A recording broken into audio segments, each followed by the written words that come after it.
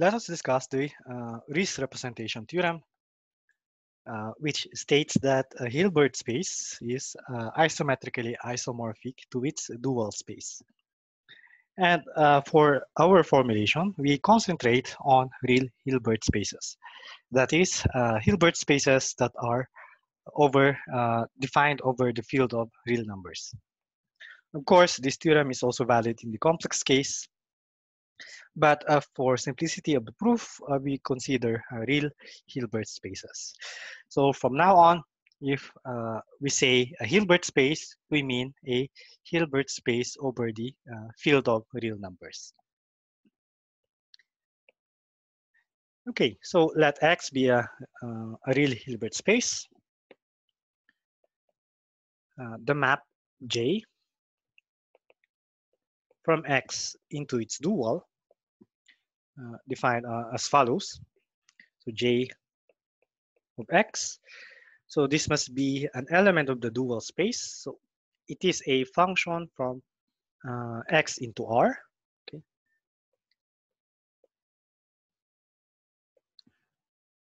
So the value is just the inner product of X and Y for all Y in the domain. Then uh, this map is uh, an isometric uh, isomorphism.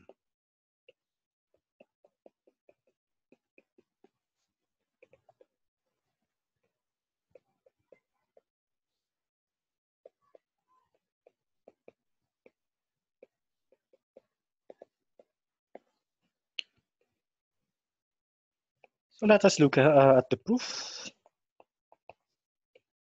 And we do this, uh, let's say, in several steps. Step one, uh, let us show that J first is well defined.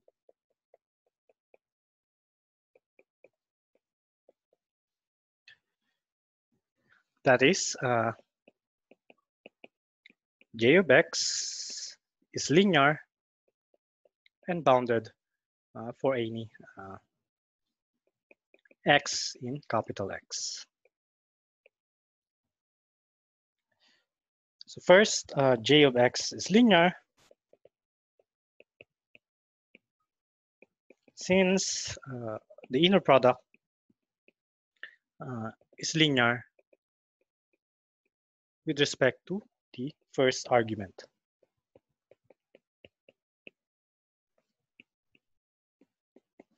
Okay, so here if you put uh, a y, you apply uh, the linearity of the inner product with respect to the first argument, you get the linearity of j of x.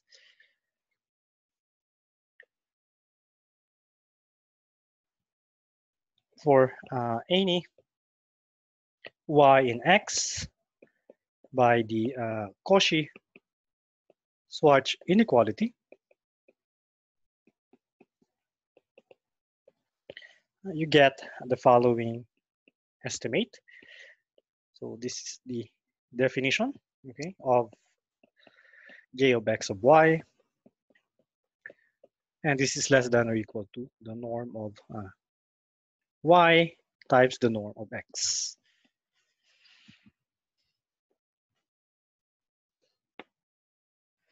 Thus, according to the definition of uh, the uh, norm in x prime, this implies that uh, j of x is in the dual space of X. And in fact, we can estimate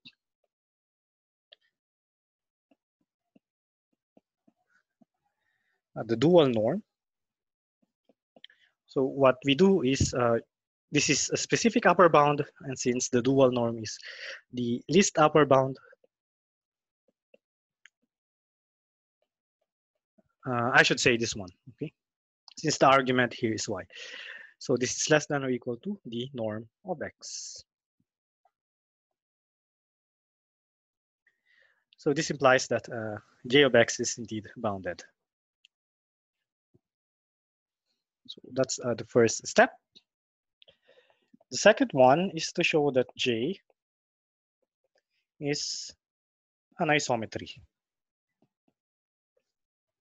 Hence, it is injective because uh, we already know that uh, an isometry is necessarily one-to-one. -one. To prove uh, that it is an isometry, okay, we need uh, to show that here uh, equality is attained.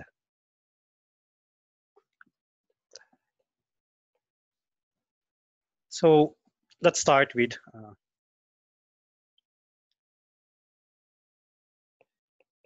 an element of your Hilbert space that is not zero. Then, uh, if we, uh, let's say, normalize this, so j x evaluated at the normalized uh, vector. So by definition, this is the inner product of the argument with x.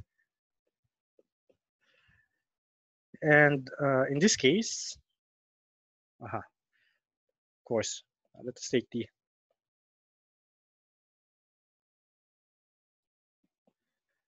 or we we can apply the linearity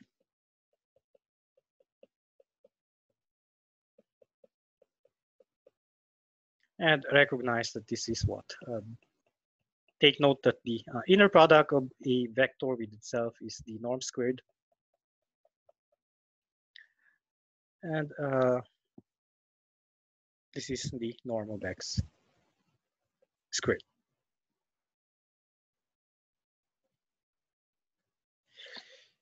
Okay, so we can also take the uh, absolute value and get the same result.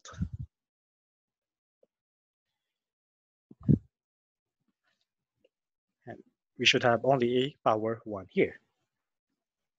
So therefore, we have uh, the following. So the operator norm or the dual norm, recall, that is the supremum of j uh, of x of y as long as the norm of y uh, is less than or equal to 1 we take a specific uh, y. So we take y to be the norm,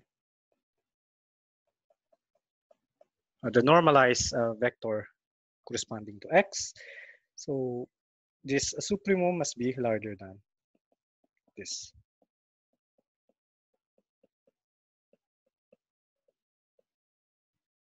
And uh, we know that this is equal to the norm of x. Hence, the dual norm of j of x is equal to the norm of x. For any x in capital X, why is that?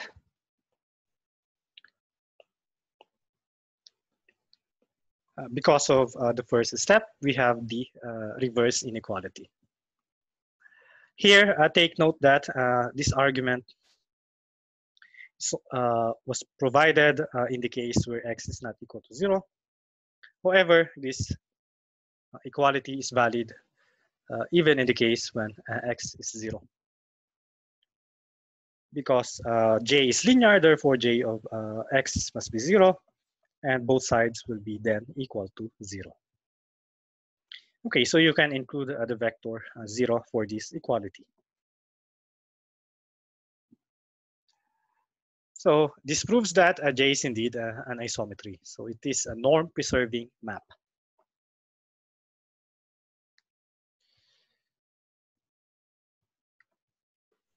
Okay, now to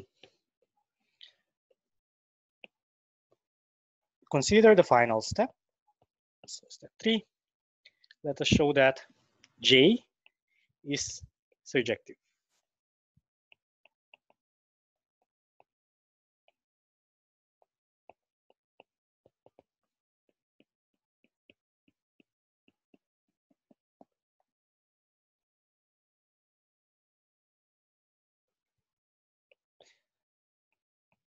So for this, let us take an x prime.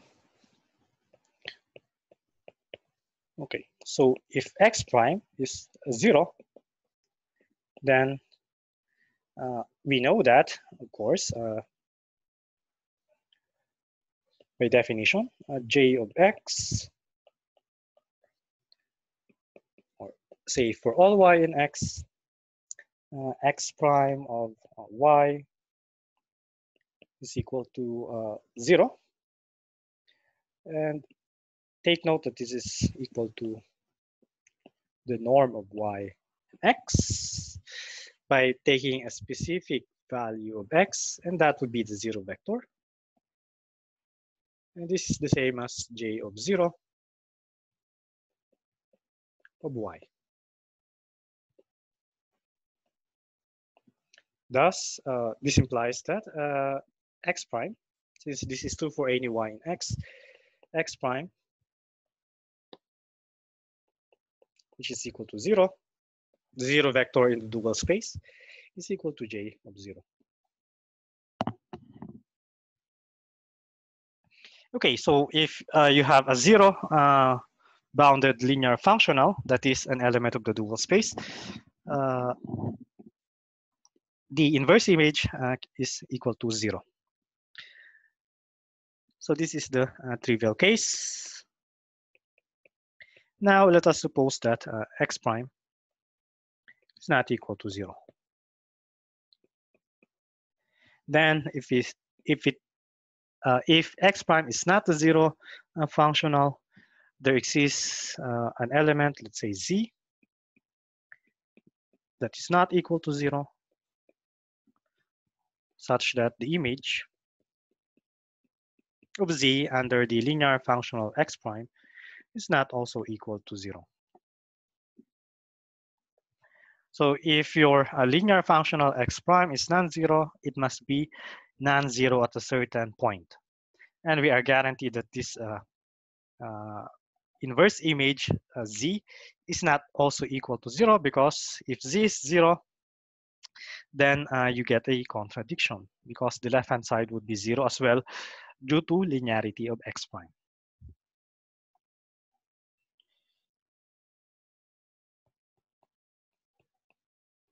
For uh, simplicity, let us denote by n uh, the null space or the uh, kernel of x prime.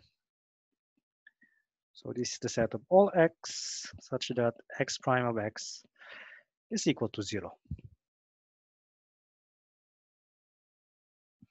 And uh, we normalize z. Uh, so define that to be a vector e. So let's say this is uh, z divided by uh, x prime of z. With this, you can now uh, apply the linearity, okay, of x prime this is uh, equal to 1. Okay, so you can uh, pull out the denominator here. Or more precisely, the reciprocal of that uh, x prime z.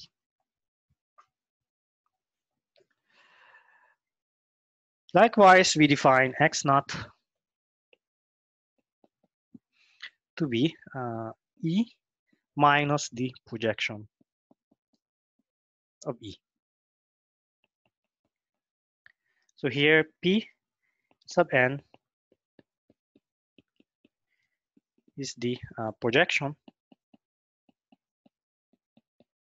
In fact, the orthogonal projection of x onto the kernel n. And we know that uh, the difference must be in the orthogonal uh, complement of n.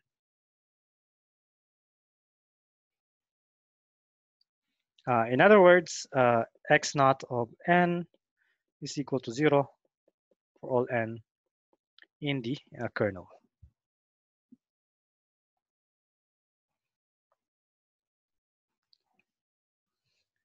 So for each n in the kernel, if we take the inner product of x naught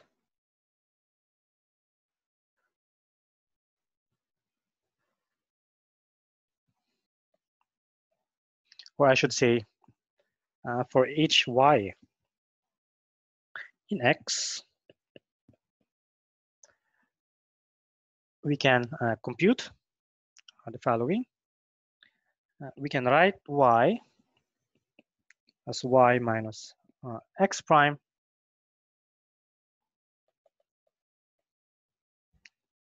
or I should say we compute uh, the uh, the value of x prime y minus x prime. Y?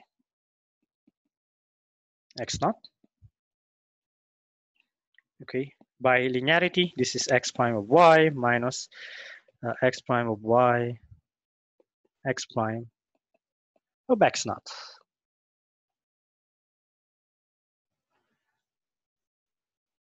However x prime of x naught according to the definition of x naught is e minus pn of e. And uh, this is x prime of e minus x prime of pn of e.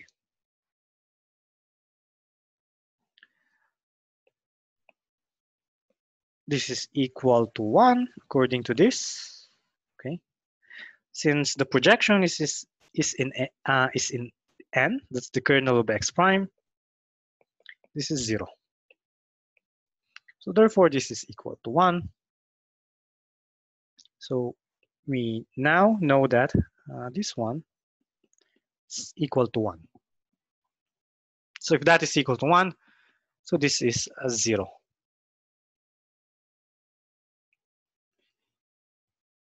Okay, so with this, uh, we can write, okay.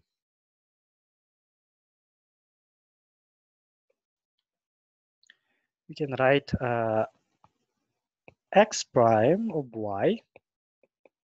So we will write this as follows. So add and subtract this term and then by uh, linearity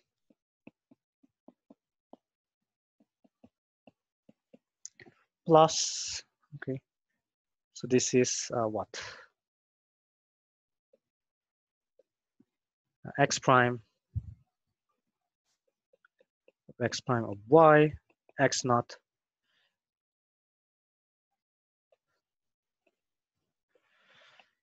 We know that uh, this first term which we calculated here is zero. And uh, this yields, okay, uh,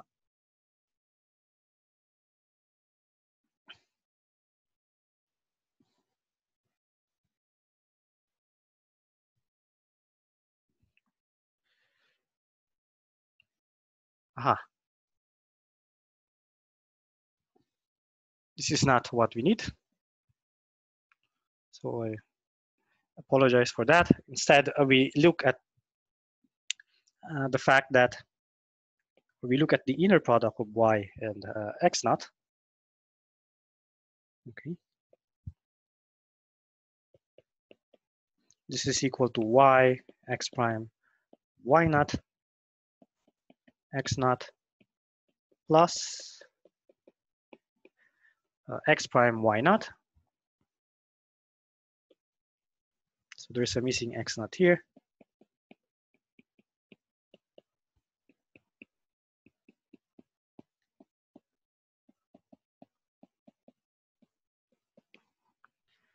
So we add uh, and subtract this term basically.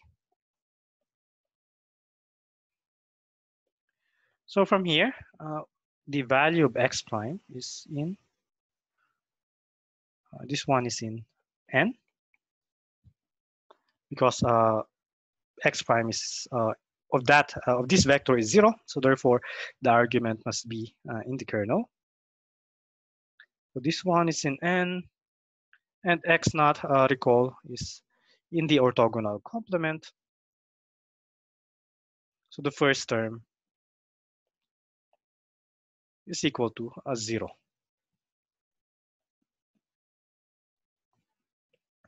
Okay, so we can now only concentrate on the second term. And for this, you can factor uh, the scalar x prime y naught, and you end up with the inner product of x naught with itself. So that's basically the squared norm.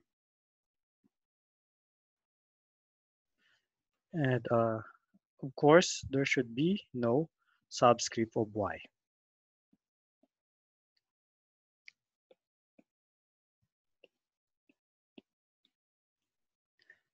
And therefore, we now uh, we can now divide, okay, and apply the uh, linearity with respect to the second argument of uh, the inner product. Okay, so this is basically according to the definition, j of x naught divided by the norm squared evaluated at y and this is true for any y in capital X.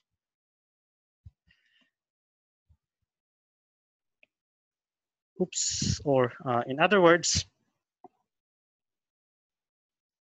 uh, that is uh, x prime is equal to j of x naught divided by the norm squared. So we uh, found uh, uh, the corresponding inverse image. This implies that uh, the map J is surjective.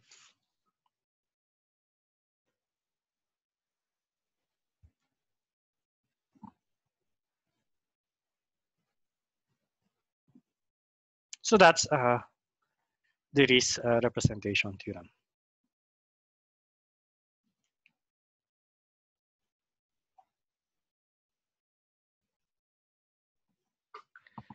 So stating in a different way, so given x prime in the dual space of the Hilbert space, okay, there exists a unique uh, x such that the inner product of y and x is equal to x prime of y for any y in x and the norm of x is the same as the norm, the dual norm of x prime. Here you can simply take, of course, uh, x to be uh, the inverse image of uh, x prime. So take note that uh, again, according to uh, the Riesz representation theorem,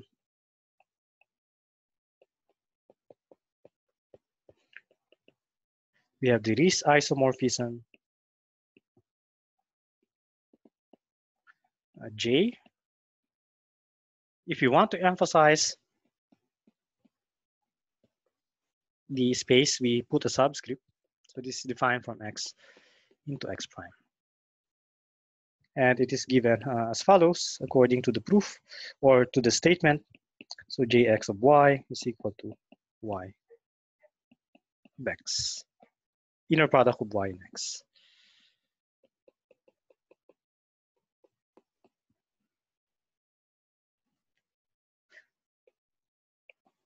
And uh, for this, we consider the following uh, notation called uh, duality pairing. So we pair an element of the primal space and uh, the dual space. So for uh, x in the primal space, x prime in the dual space, uh, the duality pairing between x prime and x. Okay.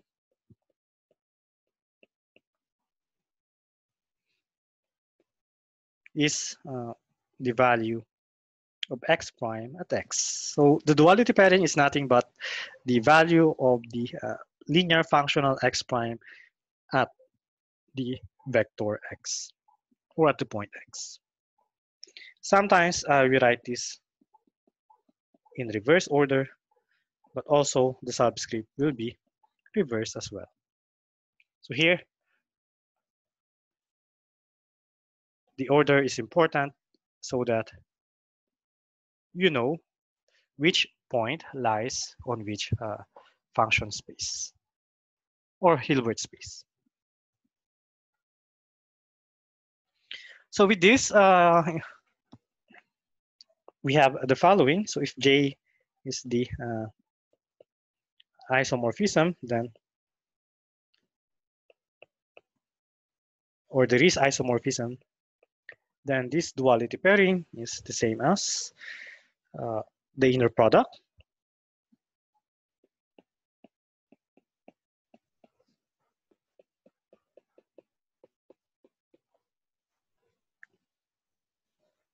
Since uh, j of x comma y is just the function value,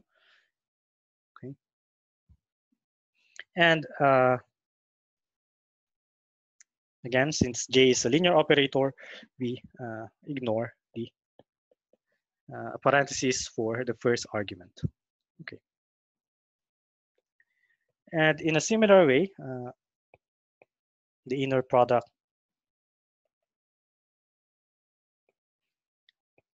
between y and j inverse x prime. So here uh, you just uh, replace x by j inverse x prime. So you will get on the right hand side or on the left hand side x inverse or I should say x prime uh, y. And then this is the duality pairing in x. So replacing y by x,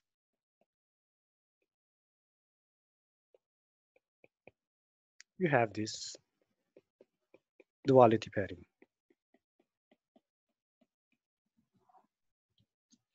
So this duality pairing mimics uh, your uh, inner product. Since uh, x prime is isometrically isomorphic to x, let's say you can, well, up to the Riesz isomorphism, you can replace this by x and you have uh, the inner product itself. And uh, of course, a direct consequence of the Riesz representation theorem is the following corollary. So if H or if X is a Hilbert space,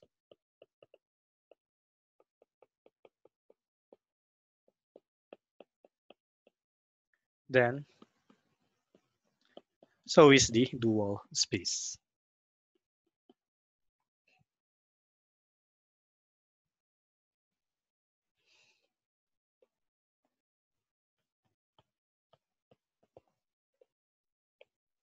And uh, for this, it is enough to, uh, of course, construct the inner product. So for any two elements of the dual space, uh, the map uh, given by, so So I want to uh, produce an inner product, but of course, uh, you can use the inverse of the Riesz map. Now this inverse is now in the vector space or the Hilbert space X. So you can take the inner product. So is this is an inner product on X prime that induces the dual norm.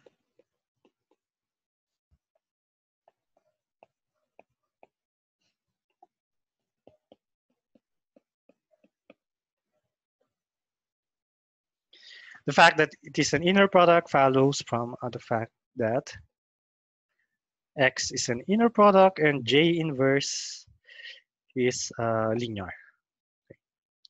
Moreover, uh, it is linear and bijective. So you can uh, verify that uh, immediately.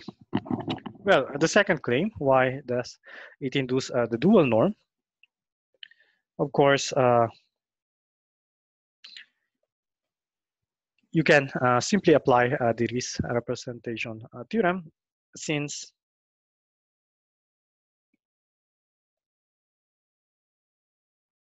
uh -huh.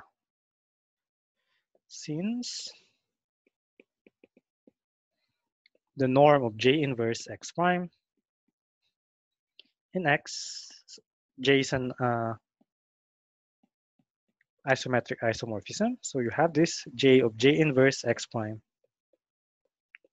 uh, in X prime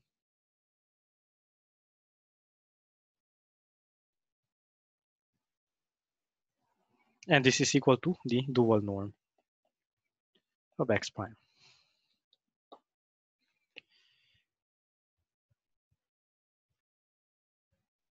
Okay, so this uh, indeed, uh, this inner product uh, induces the dual norm on x prime. So that's uh, the proof.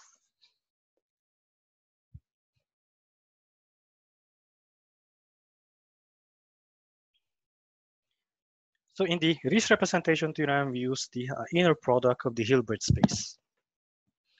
And the inner product, as we know, uh, for a, a real Hilbert space is asymmetric. So we can uh, interchange the arguments. But uh, one can drop the uh, the symmetry assumption.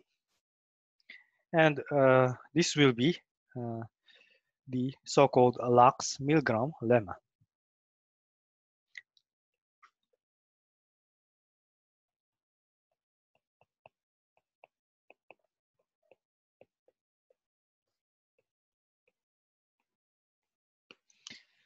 And this is uh, utilized frequently in the study of uh, linear elliptic uh, partial differential equations, uh, for instance. So for this statement, let us take a real Hilbert space X.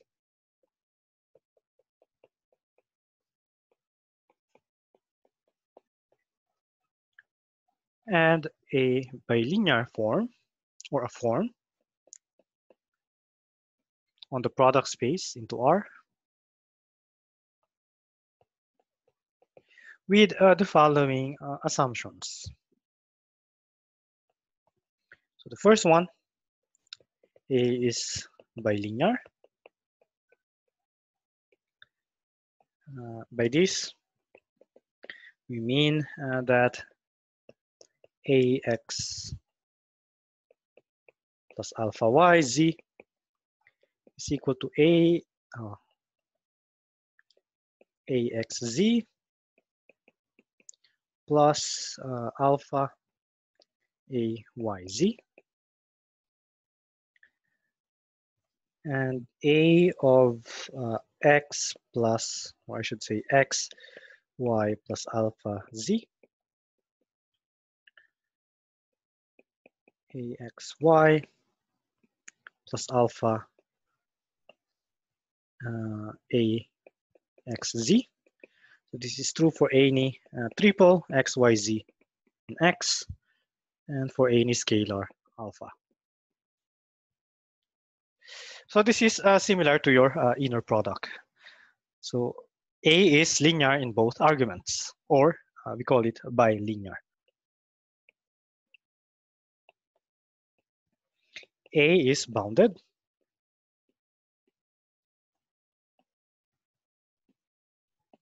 In other words, there exists a constant, uh, let's say a C1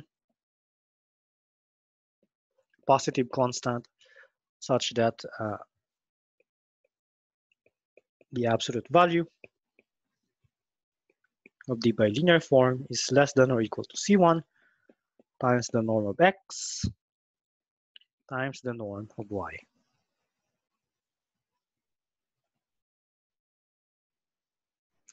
for all x and y in your Hilbert space. And uh, finally, we suppose that A is coercive.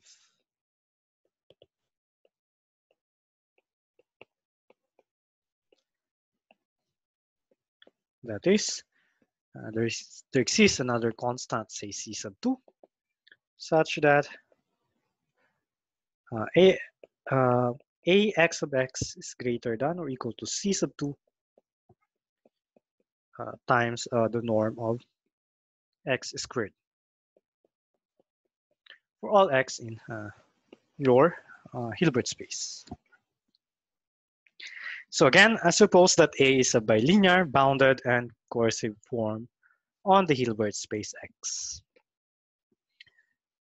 And if you think of A as your inner product, then uh, bilinearity is clear. Boundedness follows from uh, the Cauchy-Schwarz inequality. And in fact, you can take C1 to be uh, equal to 1. And likewise, coercivity is attained. Uh, equality is attained in coercivity simply by taking C2 to be 1 as well. So the inner product uh, satisfies this uh, property.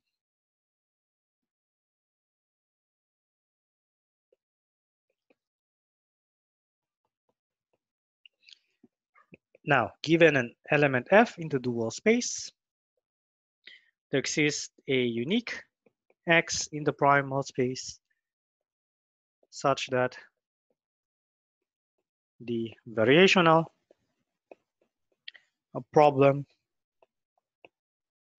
by this we mean uh, ax uh, of y equal to the duality pairing uh, x prime x. For all y in x. Has a unique solution.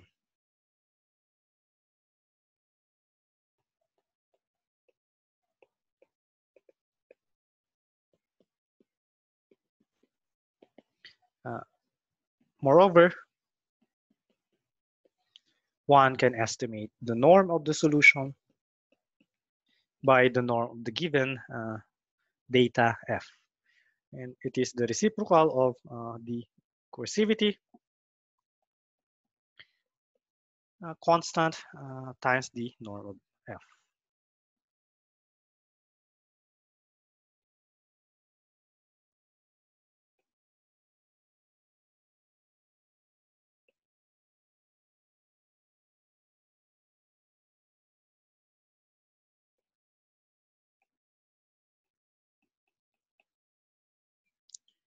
Again, so uh, if uh, A uh, satisfies these three properties, then this variational equation uh, can be uh, solved uniquely in the real Hilbert space X.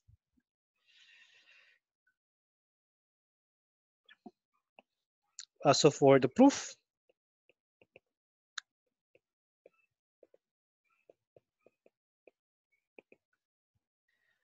the main idea is to write our variational problem as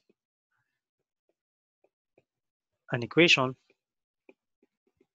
in uh, your vector space or in your Hilbert space X.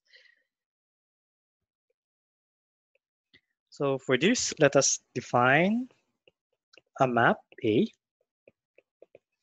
from X into its uh, dual space, X prime, as follows. So A of X, this is an element of the dual space. So we take the duality pairing. This is just the value of the uh, bilinear form at X and Y.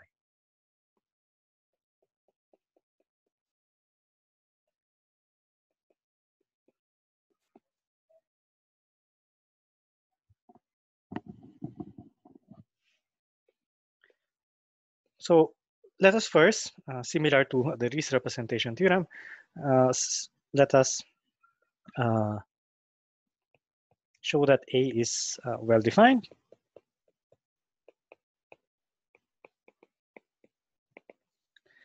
And uh, from this,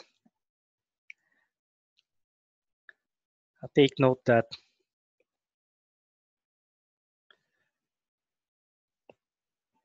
so that is a of x is in x prime. Okay, so ax is linear since a is linear with respect to the second argument.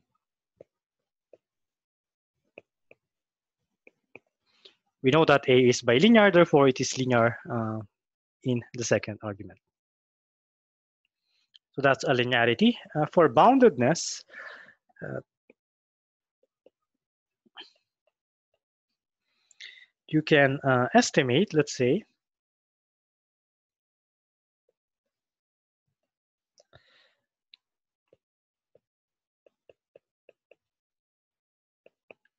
the duality pairing.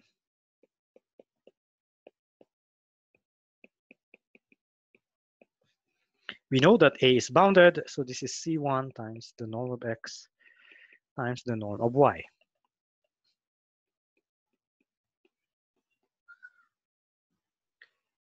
Okay, thus uh, AX uh, is bounded and in fact the dual norm is less than or equal to okay? So here you can think of y as your argument. And the remaining uh, terms would be your upper bound.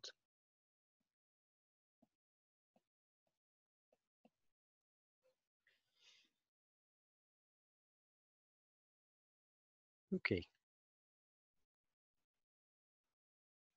And that would be uh, the case.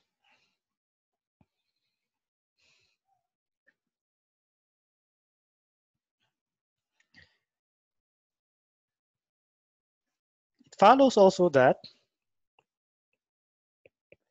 uh, A uh,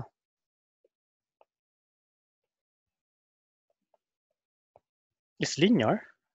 So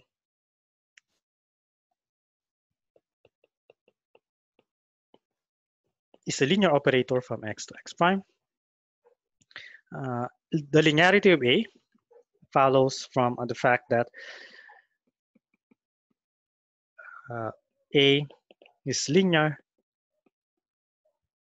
uh, with respect to the first argument.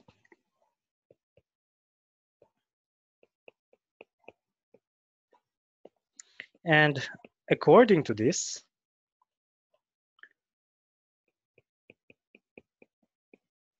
we can estimate its norm by C sub 1. So that's uh, our operator A induced from uh, the bilinear operator small a. So combining the two equations, so this means that uh, star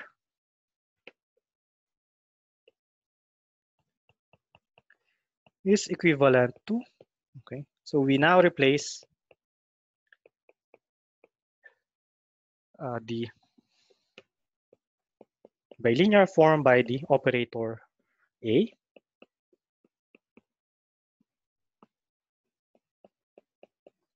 So this is true for any uh, y in x. And take note that two functions are equal if and only if uh, the values are equal for all y in the domain. So this is equivalent to ax equals f. But now this equation is taken in the dual space.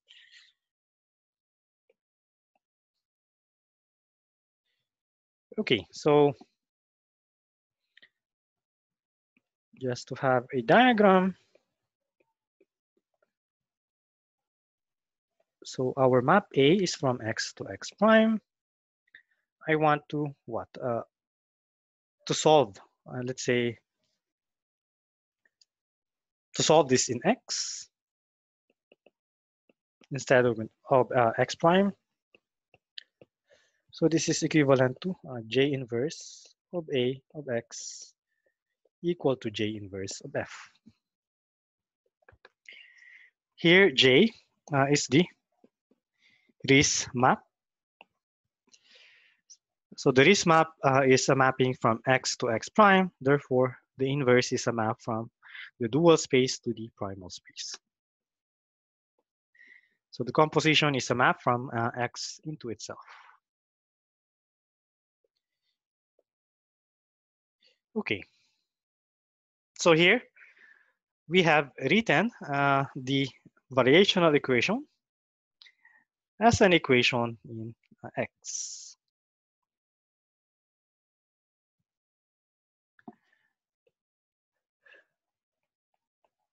So to prove that this has a unique solution, we only need to show that A uh, is invertible.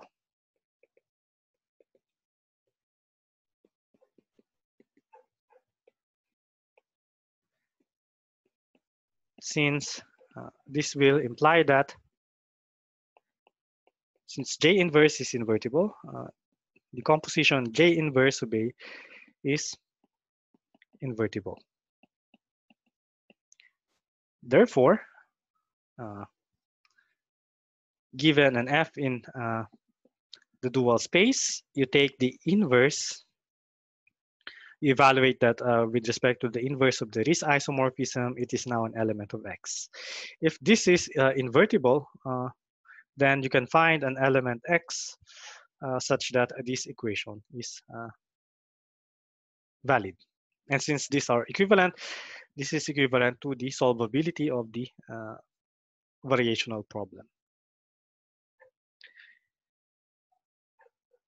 So let us show that uh, indeed A is invertible.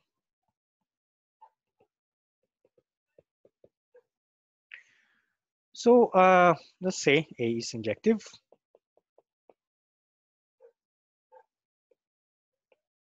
How do we establish injectivity of uh, J? Or, or, I should say A. So for this, let us uh,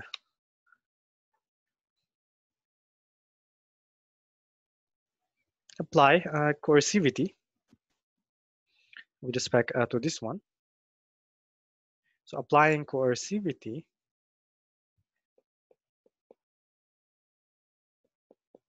uh, so suppose uh, ax first is equal to zero. Then if I take this duality pairing, by definition, this is just the uh, bilinear form evaluated at x and x. But this, this is greater than a c sub 2 times the norm of x squared. Since uh, ax is 0, this is 0. So the norm of uh, x squared is equal to 0, hence x must be 0. Okay, take note that C2 is positive, so you can divide by C2 as well. And since the norm is non-negative, you end up with uh, the fact that X must be zero. So uh, that is injectivity of uh, A.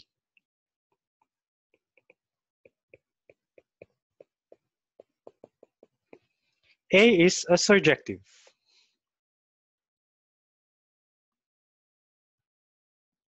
Uh, to prove this, uh, let us, uh, let's say,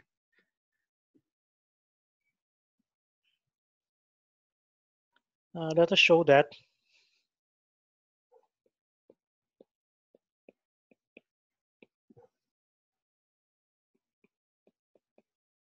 uh, J inverse of A uh, is surjective.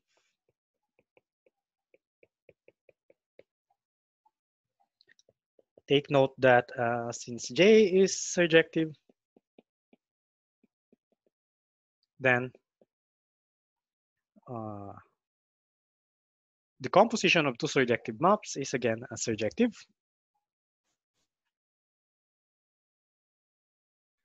So this implies that uh, A, which is basically J, J inverse of A, is surjective. Okay.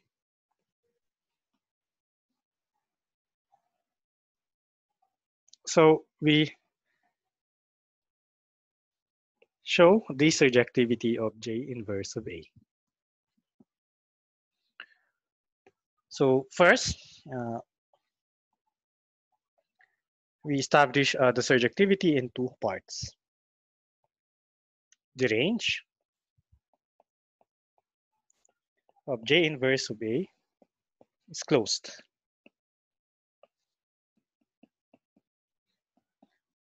in uh, X.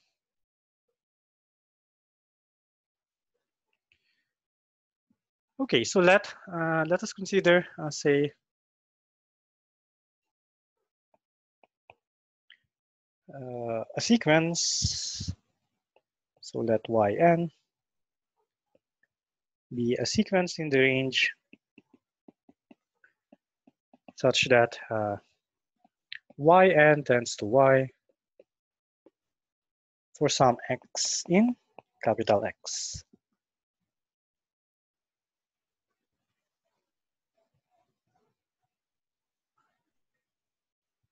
So to prove uh, the closeness of uh, the range, we need to show that y is also in the range. So for each n,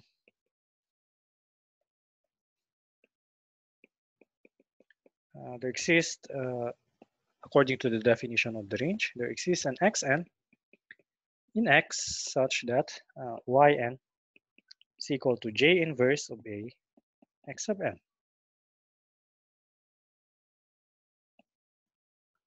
And if we uh, apply uh, the coercivity,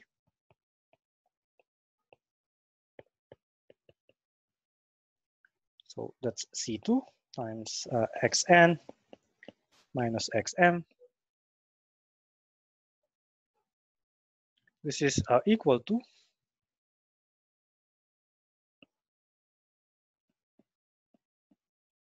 Aha. So let us apply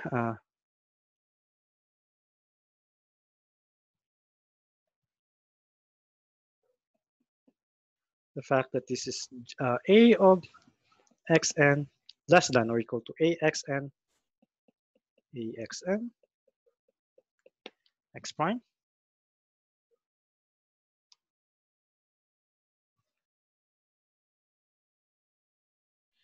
Okay, this is somewhat quick, so let us do this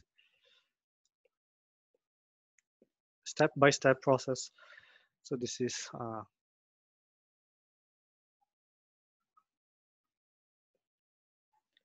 xn minus xm.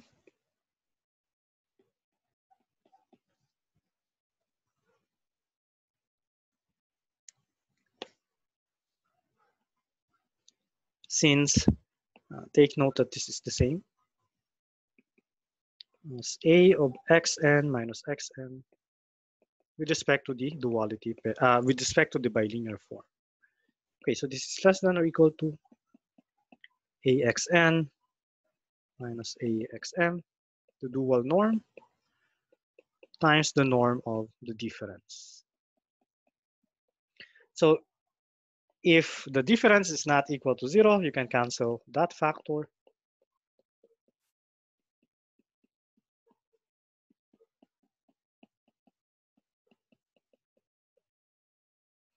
However, if uh, what uh, that this norm is equal to zero, then uh, this obviously holds. So overall, this inequality is valid. Okay, now we apply the fact that J inverse is an isometry.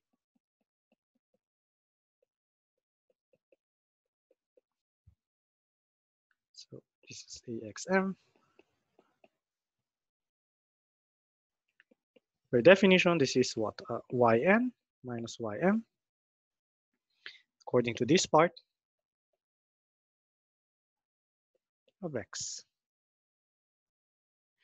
And take note that this converges to zero as n and m goes to infinity.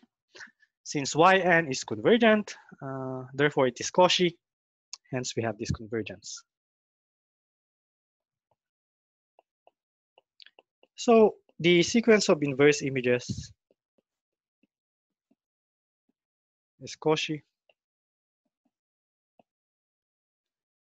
So for some x, this sequence will converge to this x. And by uh, continuity,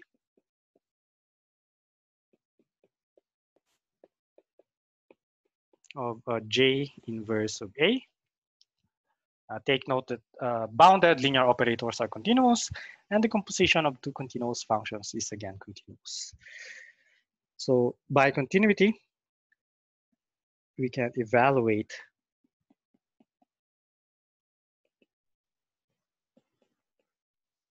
or we can plug in the limit j this is j inverse uh, x okay since uh, this is take note. Yn and yn tends to y in x. Hence by uniqueness of limits uh, y must be the same as j inverse a of x. So y is also in the range of J inverse of A.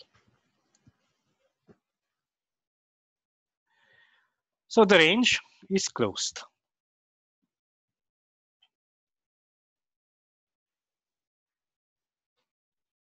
The next uh, step is to show that uh, this range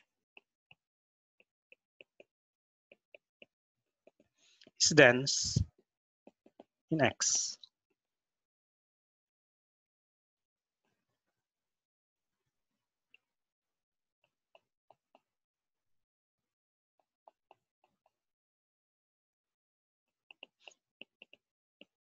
by way of uh, contradiction, suppose that it is not dense in X. And we will see uh, if, uh, and we will see later uh, a false statement. Okay, so if this is not dense, then there must be an element, a non-zero element, such that the inner product of y and z uh, is equal to zero for any uh, z in the range of J inverse A. So this means that, uh, or sure, I should say for all y.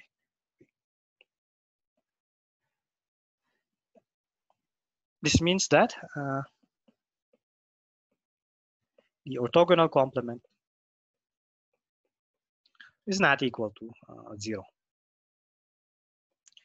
Well, if uh, the your set is dense, then the closure must be x and the orthogonal would be a zero, which is not possible. Okay, now taking a note that by mimicking this uh, computation here, c sub 2 times uh, the norm of z x squared. So this is according to coercivity less than or equal to the bilinear form evaluated as z in both arguments. However, this is also uh, a of z, z, duality pairing. And recall that okay, I can make this into an inner product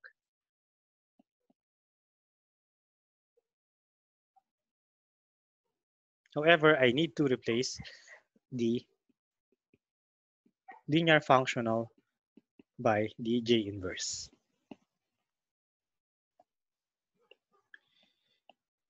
This is obviously an element of the range of J inverse A. According to this,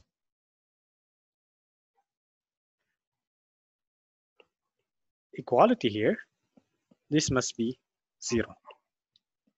So you can take y to be J inverse of A of Z. Then This implies that Z is zero. A contradiction.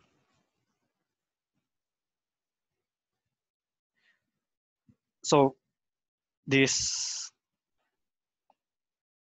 assumption here is not valid. Hence, uh, the range of J inverse of A is dense in X. And the two, that is the density and the closeness implies surjectivity of J inverse of A. Indeed,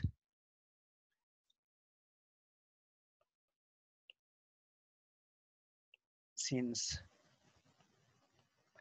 J inverse, the range of J inverse is closed,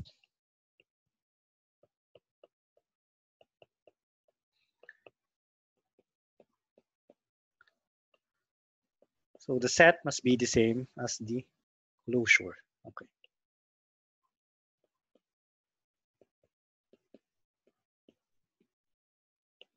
However, if your set is dense, so the closure must be X.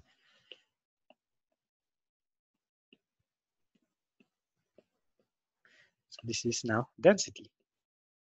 So the, the range of J inverse of A is uh, surjective or the range of J inverse of A is the whole of X. Therefore, going back to uh, this, J inverse of A is surjective. And this implies uh, that A is surjective according to this uh, discussion. Therefore, uh, again, A is surjective and A is injective.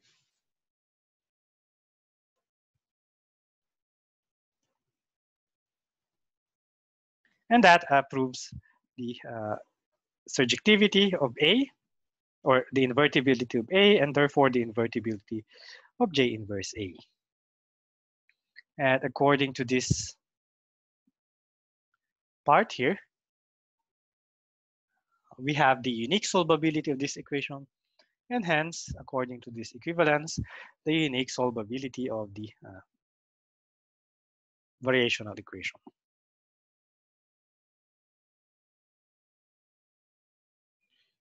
Okay.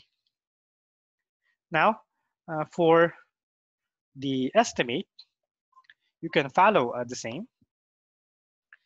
Uh, estimate and uh, you can prove this part.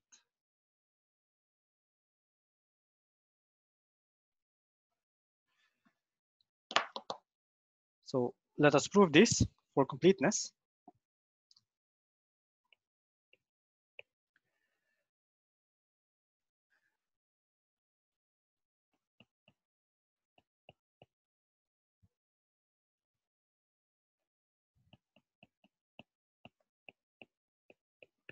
Uh, note that C2 norm of x uh, is less than or equal to uh, a of x and x prime for any x in capital X. Well, we just need to recycle the proof uh, last time. So let me go back here. You just apply this. Uh, you just replace uh, xn by x and replace xm by 0. So therefore, uh, you have uh, this one. And dividing by uh, dividing by x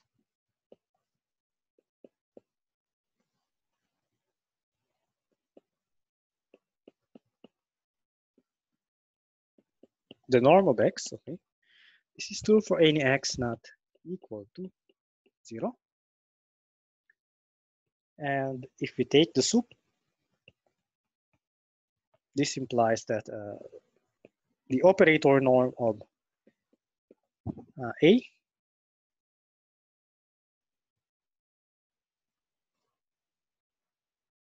uh -huh. I want the inverse of A.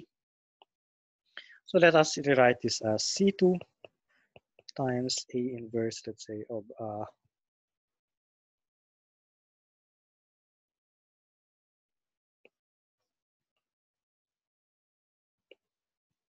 So let us remove this.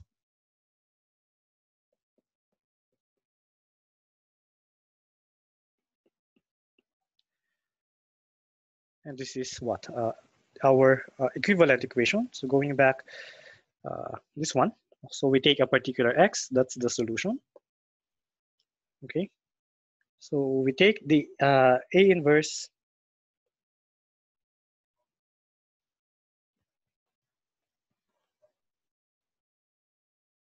Uh -huh. I think uh, this is better.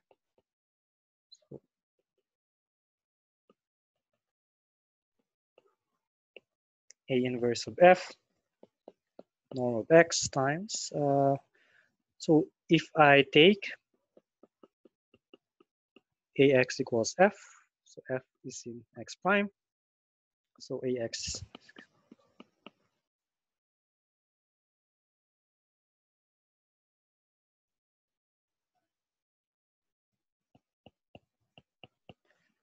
So divide by the norm of f in x prime and divide by c sub 2 and you have this and this is true for any uh, uh, f that is in x prime not equal to 0 therefore the operator norm the inverse so this is what uh, from x prime to x is less than 1 over c2. Okay. So we also have the estimate of the inverse of uh, your uh, operator A. And uh, from, from here, in particular,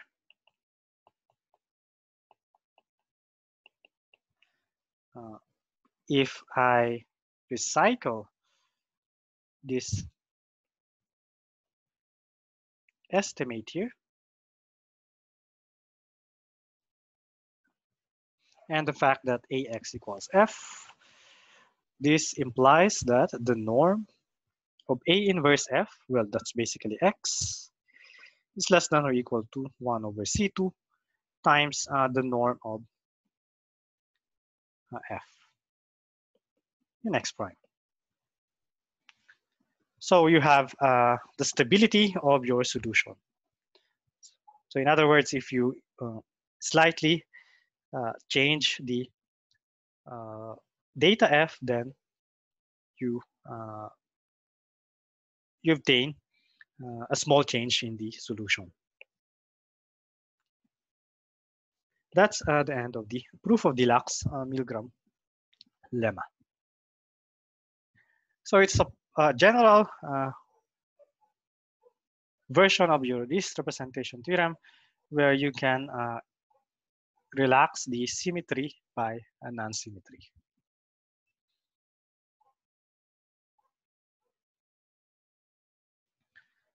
Of course, uh, the Riesz representation theorem was uh, proved uh, as a first step because we needed it uh, in the proof of this uh, theorem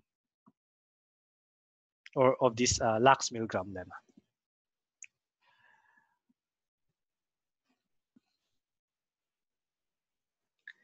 So in the next uh, lecture, ne uh, next series of lectures, let us apply this to uh, a specific type of an elliptic uh, PDE, for instance, uh, modeling, uh, let's say, a stationary heat source. just to give you an idea on the application of this abstract result to more concrete problems. And in the next lecture, we will also discuss uh, modifications and generalizations of the Lax-Milgram lemma that is applicable to certain type of uh, problems that's it for now and see you on the next one.